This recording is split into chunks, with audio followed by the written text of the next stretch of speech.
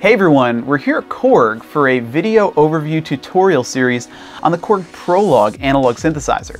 This is Prologue 16 with 16 voices, but Prologue's also available in an 8 voice version. This video is going to focus on Prologue's filter. Prologue belongs to a family of Korg analog synths, including the Minilogue, which had a very gentle filter, and the Monologue, which had a more aggressive, brutish, overdriven filter. And Prologue kind of offers the best of both worlds, because the filter is newly voiced for polyphonic play and has a huge, powerful low end, but can still be both gentle and aggressive. So I have a pretty simple pad sound pulled up on Prologue, and I'm going to sweep the filter to give you guys kind of an idea of what the filter's character is.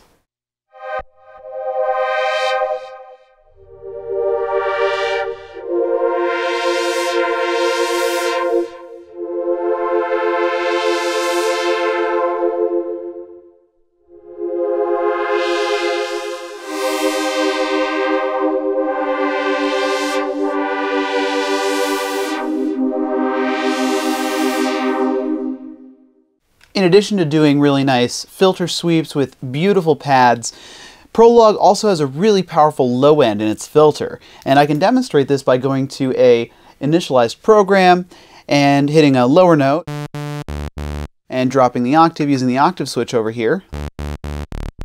And let's bring in a second saw wave oscillator so we have two saw waves in unison.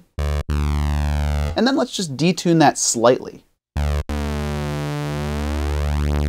So now we have a really nice fat, slightly detuned unison saw wave in a low octave. And let's throw on some resonance and just kind of play with the filter a little bit to give you an idea of the character.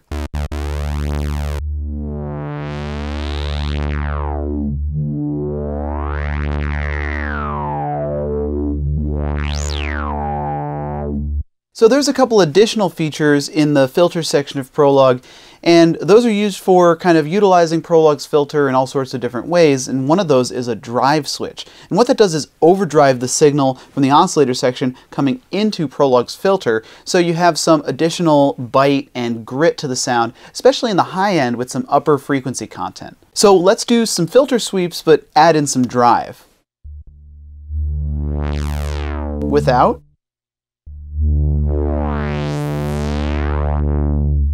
Level 1 of drive, and then I have a second level of drive.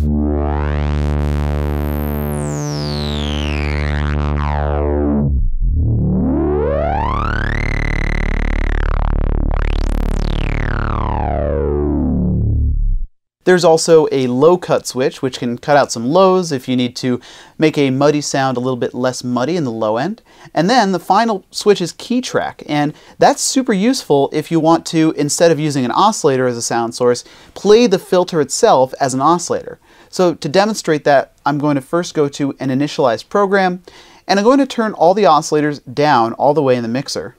And I'm going to turn the resonance on the filter all the way up. And then I'm going to kind of bring the cutoff to the middle here and turn the key track up to 100%, and I'll be able to play the filter as its own oscillator. In other words, self-oscillating. And it sounds even better if I add in a little bit of portamento, use the mono voice mode, so we're in monophonic mode, and just throw a little bit of reverb on there so I can get a self-oscillating lead.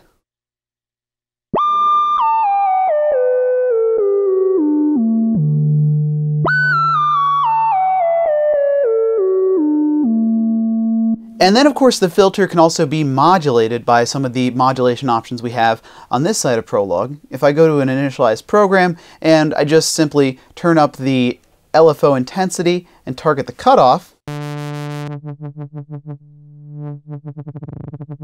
I can get some LFO modulation of the cutoff, and that's especially useful if I change to the square wave modulation on the LFO and go to fast mode, crank it all the way up into the audio rate range, and add some resonance.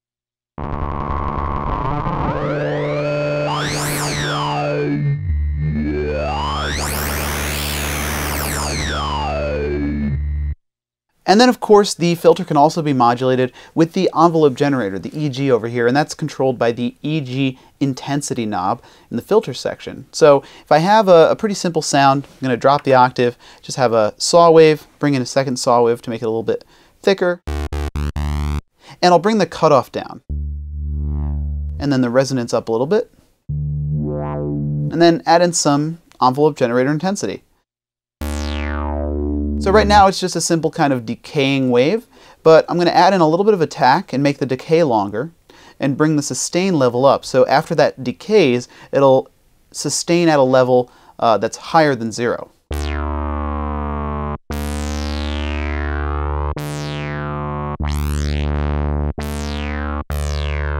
So now I have kind of a funky bass sound with a little bit of resonance. And I can drive that.